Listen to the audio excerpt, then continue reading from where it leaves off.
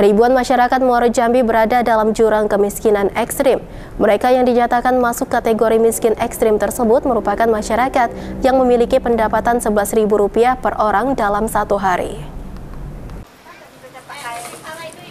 Tidak hanya persoalan infrastruktur jalan, masyarakat yang hidup dalam jurang kemiskinan juga menjadi PR besar bagi pemerintah Kabupaten Muaro Jambi.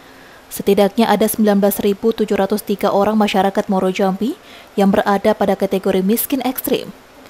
Ada beberapa faktor yang membuat masyarakat di daerah setempat masuk dalam kategori miskin ekstrim, yakni karena pendidikan yang tidak siap untuk mengakses pekerjaan dan tidak memiliki skill atau keterampilan. Disampaikan oleh Kepala Dinas Sosial Kabupaten Moro Jambi Rosa Chandra Budi, bahwa saat ini pemerintah Kabupaten Moro Jambi sangat optimis hingga di tahun 2024 mendatang, penduduk miskin dapat teratasi. Hal ini selaras dengan instruksi Presiden tentang percepatan penghapusan kemiskinan ekstrim yang ditargetkan 0%.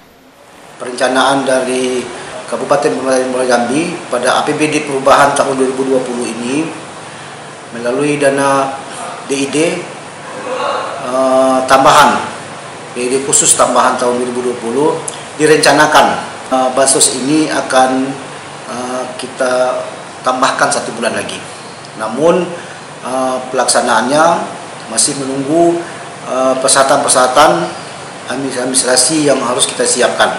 Jadi uh, nanti akan kami sampaikan secara resmi kepada pemerintah kecamatan, pemerintah desa terkait dengan uh, perencanaan tahap keempat ini.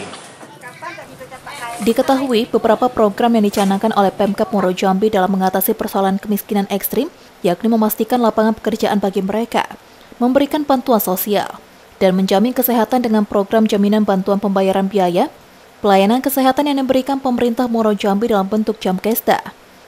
Selain itu, Pemkap mendorong perusahaan swasta untuk turun tangan mengatasi kemiskinan ekstrim, yakni dengan menganggarkan dana CSR untuk melakukan pemberdayaan kepada masyarakat. Novia Putri Sanjaya, Cek TV, laporkan.